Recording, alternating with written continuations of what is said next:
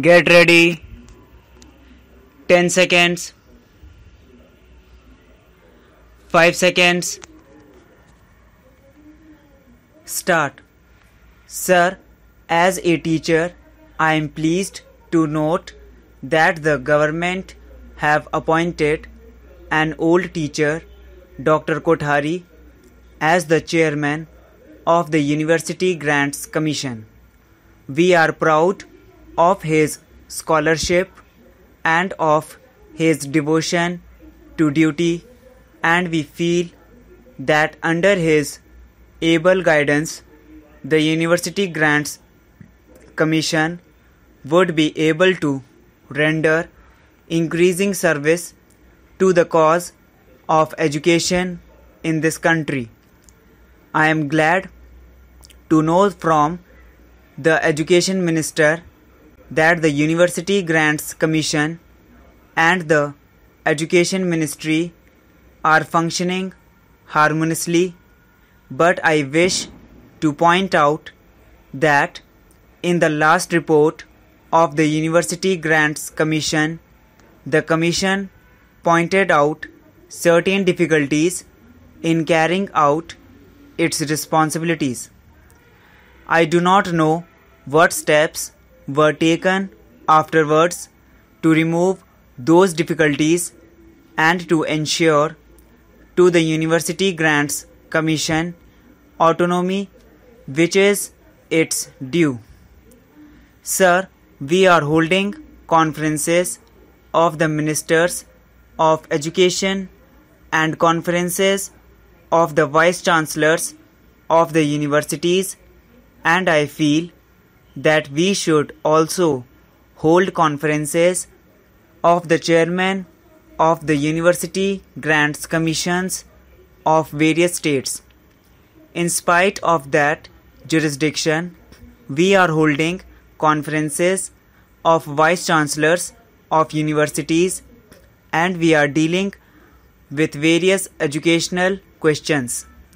If there are no university grants commissions in certain states and if they are not functioning properly, it is the duty of the education minister at the center to deal with that problem also in the conference of the ministers of education of the various states if they find some difficulty in having a conference of the chairman of the university grants commissions of the various states. I do submit that the universities are not functioning as autonomously as perhaps the education minister wished them to function.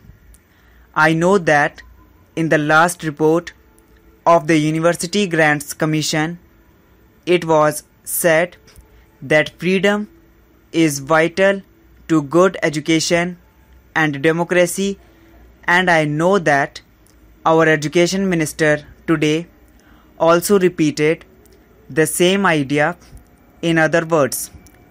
But I am afraid that interference in university education is rather increasing. The bureaucratic spirit is tending to dominate the university life much more than it do when we were under the British regime. Universities in certain states are tending to be instruments of the government policies, intra-party conflicts at government level and often conflicts between the state governments and the union government in certain cases cause difficulties in the administration. I do know that for the present state of affairs, teachers and students are to an extent responsible, but I beg to submit that the higher authorities are in no way less responsible for the present state of affairs in our universities. Without mentioning names, We know that proper care is not taken in the appointment of vice chancellors. If the system of election has failed, selection by government has proved no better so far as the cries of the vice chancellors are concerned. In many universities, the directors of education are chosen as vice chancellors and ha- have reason to believe that their selection is in general resented by the professors of the universities concerned.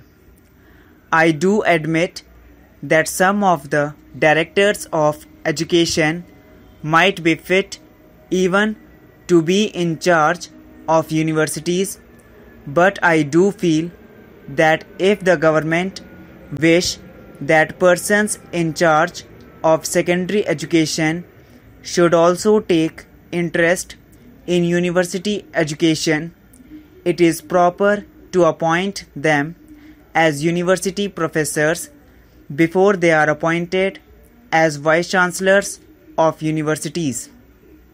I have in mind a person like Dr. Amarnath Jha who belonged to the Provincial Education Service. He served as a university professor, had experience of university education, and then, when he became the vice chancellor of the university, he discharged his duties as vice chancellor admirably well. I wish to point out that personal character, wide human sympathy, interest, and understanding of university education, capacity for leadership, faith in the democratic ideals, reputation for learning, and confidence of the authorities are absolutely necessary. In a good vice chancellor and proper care should be taken in devising ways and means for selecting proper persons as vice chancellors of universities. I welcome the new pay scales of teachers of the central universities.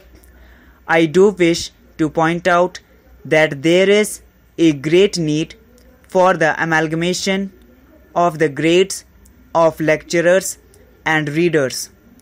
Most of the teacher conflicts are due to these two grades of lecturers and readers, and greater harmony will prevail among teachers in case the two grades subject to certain efficiency bar are amalgamated.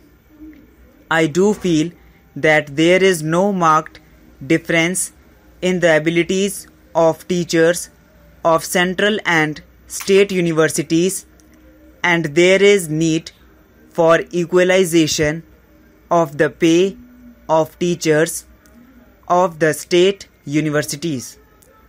Whoever may be responsible for the difference in pay, the country would suffer if there is no equalization of pay because disaffection would continue and this will tend to spoil the university life and standards.